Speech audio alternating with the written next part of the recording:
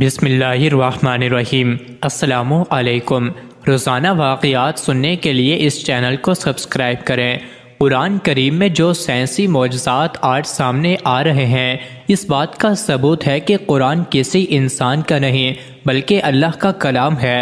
कुरान में अल्लाह ताला ने लोगों को बार बार इस तरफ़ मुतवजह किया कि मज़ाहिर फितरत पर गौर व फ़िक्र करें और इनमें से इसकी निशानियाँ तलाश करें। कुरान करीम की एक आयत में अल्लाह ने इस दुनिया की सबसे हकीर और कमज़ोर मखलूक की मिसाल बयान की है, जिसमें मौजूद मतलब को समझकर एक इंसान इस दुनिया का असल मतलब जान सकता है। तमाम जानदारों में ये निशानियाँ मौजूद हैं, लेकिन चंद एक ख़ास तौर पर वो हैं जिनका ज़िक्र अल्लाह ने ख़ास तौर पर कुरान पाक में फरमाया है, और उन्हीं जानदारों में से एक मच्छर है। जब कुरान पाक मकड़ी और मक्खी की मिसाल बयान हुए तो मुशरक कहने लगे कि भला ऐसी हकीर चीज़ों के बयान की कुरान जैसी अल्लाह की किताब में क्या ज़रूरत है?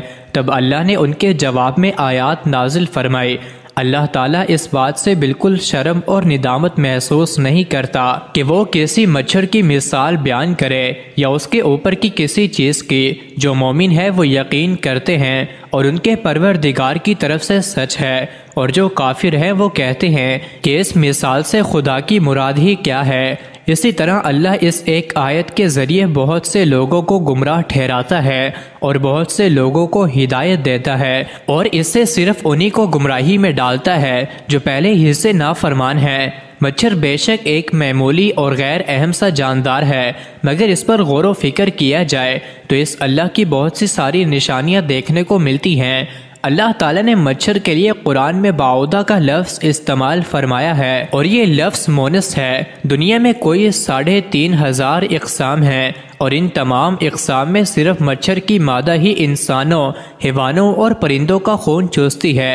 जबकि नर मच्छर निबादात और फलों का रस चूसता है। सवाल ये पैदा होता है कि मच्छर की जिनसी शनाख्त तो आज की मेडिकल साइंस का कारनामा है। कि आज हमारे पास ऐसी जदीद खुर्दबीन है जो किसी शय को हज़ारों और लाखों गुना बढ़ा करके दिखाती है? जबकि कुरान ने बाउदत का लफ्ज़ बोलकर साढ़े चौदह सौ साल कबल बता दिया कि वो मच्छर जिससे इंसानों को तकलीफ़ पहुँचती है, वो मादा मच्छर है, नर नहीं है। इमाम जाफ़र सादक इस छोटे से हैवान की खलकत के बारे में इरशाद फरमाते हैं कि अल्लाह ने मच्छर की मिसाल दी है। हालाँकि वो जिसामत के लिहाज से बहुत छोटा है, लेकिन उसके जिसम में वो तमाम आलात और आज़ा हैं, जो खुशकी के सबसे बड़े जानवर के जिसम में हैं, यानी हाथी और उसके अलावा भी उसके दो सिंग और पर हैं। जो हाथी के पास नहीं, ये बज़ाहिर कमज़ोर सा जानवर है, जिसे खुदा ने हाथी की तरह पैदा किया। इसमें गौर व फ़िक्र इंसान को पैदा करने वाले की अजमत की तरफ़ मुतवजा करता है। खसूस उसकी सूंड जो हाथी की सूंड की तरह अंदर से खाली और मखसूस क़वत से खून को अपनी तरफ़ खींचती है। ये इतना एहसास होता है कि सिर्फ़ किसी चीज़ के उठने से ख़तरा महसूस कर लेता है और बड़ी तेज़ी से अपने आप को ख़तरे की जगह से दूर ले जाता है। और ताजुब की बात यह है कि इंतहाई कमज़ोर होने के बावजूद बड़े से बड़े जानवरों को आजिज़ कर देता है। हज़रत अली रदी अल्लाह ने फरमाया अगर दुनिया जहाँ के सब ज़िंदा मखलूक़ जमा हो जाएँ और बाहम मिल के कोशिश करें कि एक मच्छर बना लें तो वो हरगिज़ ऐसा नहीं कर सकते, बल्कि इस जानदार की खुलकत के इसरार पर उनकी अकलें दंग रह जाएँगी और वो थक कर अंजाम को पहुँच जाएँगे। आज मेडिकल साइंसदानों ने मच्छर के साढ़े तीन हज़ार के लगभग इकसाम दरियाफ्त की हैं।